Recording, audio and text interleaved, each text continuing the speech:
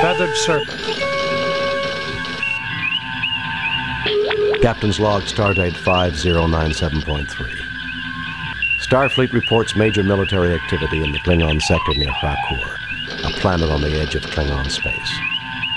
Intelligence indicates that the Klingons are mobilizing a large fleet to search for a renegade who is responsible for a disruption of unknown nature on that planet. Federation sensors have found a faint energy trail leading to the planet Zam-4 in the Digifal system. We've been ordered by Starfleet to track down the source of the energy and discover what happened on Hrakkour before the Klingon fleet enters Federation space. If we are not successful, the Federation and the Klingon Empire may find themselves at war once again.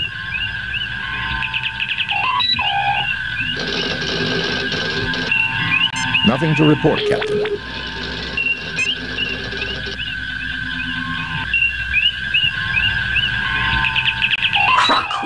4, a world in Klingon space, which has belonged to the Empire for at least four generations, governed by the Kenka family. The population of Hrakkour is not known. Kenka Vlicht, a member of the Kenka family, an old Klingonese family of noble origins, the governing family of Hrakkour. Vlicht is the first Kenka to reach flag rank, and as such, has been posted back away from the frontier. Vlicht has two sons in the service, but nothing is known of his wife or other children. He is believed to be the current commander of the Klurta and one of the most respected commanders in the Klingon fleet. He is said to be an avid fencer. Zam4, the third planet in the Digifal system, a Class M world. See Digifal. Digifal, a system near the Klingon neutral zone. Digifal contains two habitable planets, Digifal 3 and Digifal 4. Digifal 3, also known as Zem4, contains ruins of a civilization that abandoned the planet approximately 20,000 years ago and has been declared a protected world for archaeological reasons.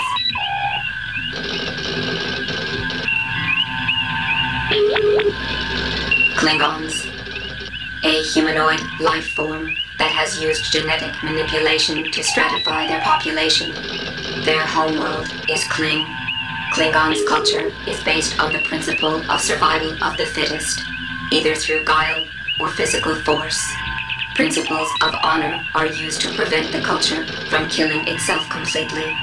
But these principles are extended outside their species only to non-Klingons who have proved themselves in battle.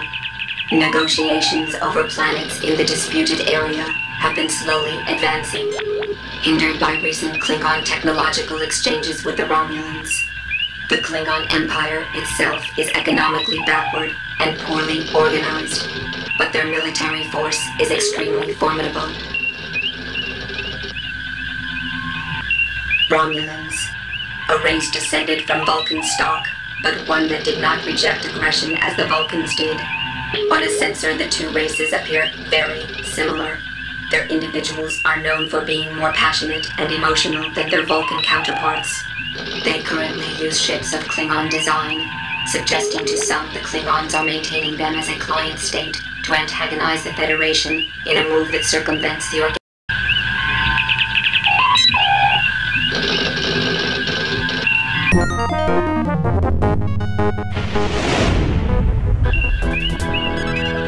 Captain, a Klingon battle cruiser has entered the system. Open hailing frequencies. This is Captain James T. Kirk of the USS Enterprise. Klingon battle cruiser, you are in Federation space. You must leave immediately. I am Commander Taras of the Nizra. We are in pursuit of a genocidal criminal. We are performing an act of mercy in removing him from your space. Naturally, you will remove your vessel from this system, for your own safety, of course. I think we can take care of ourselves, Taraz, which is more than I can say for you, if the Nizra does not leave Federation space at once. You are in direct violation of the Organian Treaty, mister. If you have a problem, have your fleet commander take it up with them. If a Federation criminal were to pass into Klingon space, you'd be saying the same thing to me. Who do you think you're trying to fool, Taraz? Get your ship out of here now. I think we, you are in direct violation of the. If we are not allowed to capture this criminal, Captain, you may do this for us. We insist that we remain here to monitor the situation, but we will take no action, provided that you can bring him to us in 12 hours. Agreed. Vessels of war are not allowed in Federation space. You will pull back to the Organian neutral zone and do so immediately. Agreed.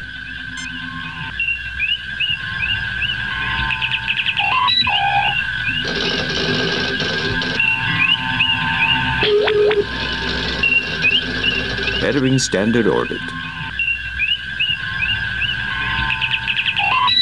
Hailing frequencies open.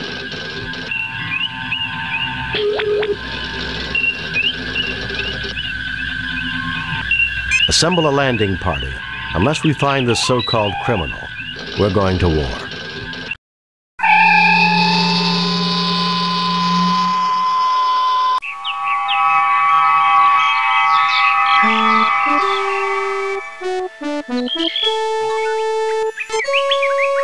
The moon of Digifal. Legend says that the gods of good and evil fortune live there and will glance back at those who look at them, and either a miracle or a catastrophe will soon befall those who gaze upon it. Luminescent insects swarm near a large tree. Luminescent insects. You see dense vegetation in all directions. You see dense veg. It looks like the jungle has grown up into a small hut. There is a tall, slender, dark haired man looking intently at you. You are James Tiberius Kirk, captain of the USS Enterprise. McCoy is fidgeting around. Spock is analyzing the surroundings. Lieutenant Stragey is carefully eyeing the humanoid. I'm just a security officer, sir. Jim, that man is dressed in ancient Aztec clothing. I believe you are mistaken, Doctor. His clothing bears a distinct resemblance to fashions of a much later period. The humanoid's adornments appear similar to those worn by leaders of Earth's early 20th century inhabitants of the South American continent. What do you know about Earth culture?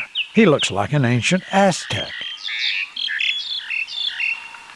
Greetings, my children.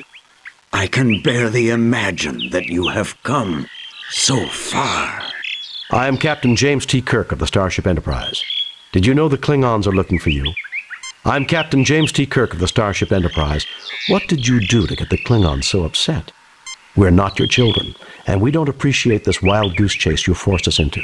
I am Cap- I'm Captain James T. Kirk of the Starship Enterprise. What did you do to get the Klingons so upset? Quaint expression. I have done nothing to anger them. I did with them what I have done with everyone. And exactly what would you have done with them? Entering Klingon space for anything puts the peace in peril. Whatever you did has them very upset. They're raiding worlds looking for you. And exactly what whatever you did. No, you must be lying. They could not be raiding if they are looking for me. Violence was not the message of any of my missions. I, Quetzalcoatl, preach universal brotherhood and peace. Quetzalcoatl? How fitting you would name yourself after one of the most bloody handed gods in Earth's history. Bloody handed? My people love peace. Your followers regularly sacrificed other believers to you after you left, offering you their still beating hearts. Ha! You mean your followers loved pieces? They slaughtered other believers hoping you'd return. Your followers regularly sacrificed other believers to you after you left, offering you their still beating hearts. Impossible. You must be lying. And then your followers were destroyed, because when white men arrived on that continent, they were believed to be you in your promised return. Your people perverted your teachings, then were destroyed by it. Foul, lying creatures! My gift was wasted upon you!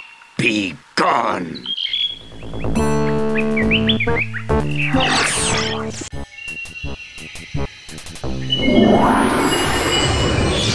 Clearly are not the inheritors of the noble Aztec world. What you have said has greatly disturbed me. You should not lie so. You shall remain here until you have learned the error of angering Quetzalcoatl.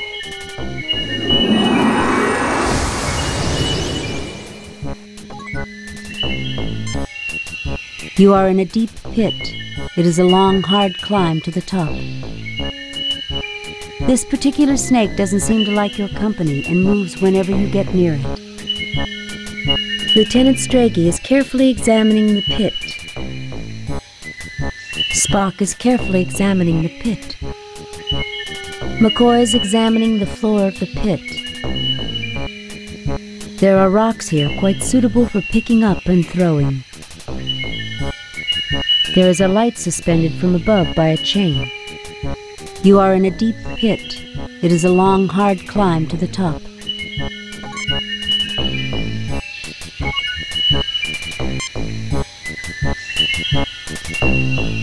You fail to obtain anything.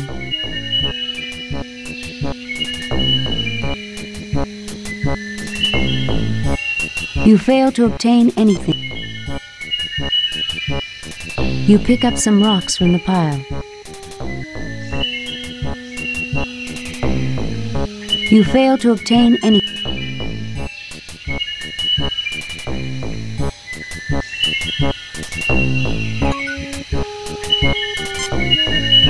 He doesn't seem to be in a talkative mood right now.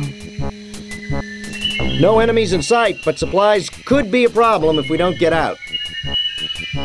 Do I look like Houdini to you? I'm afraid you're going to have to pull the rabbit out of the hat on this one. Those vines would be useful to escape, if we could reach them. There is a vine hanging down into the pit.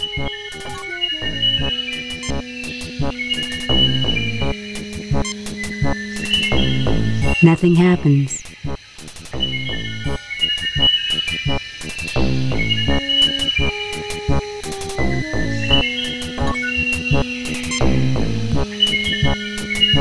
You fail to obtain any.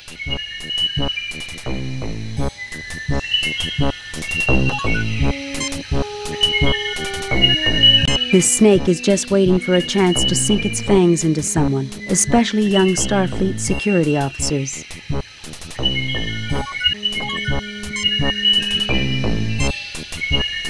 That's something of a runt, Captain. You should have seen this Rigelian python that Cadet Tyrelli put in the shower at the Academy. 20 meters long. A fascinating specimen, Captain, but I would be careful handling it. From the looks of it, it may have a nasty bite. We wouldn't want to bleed all over Dr. McCoy now, would we? Especially that green Vulcan blood. The last thing I need is a pint of T-negative blood all over my uniform. What on earth are you doing with that slithering thing? Nothing happens. Nothing happens. The vine will not support you. It's bad enough that you put me in the damn transporter. Now you want me to break my neck climbing that?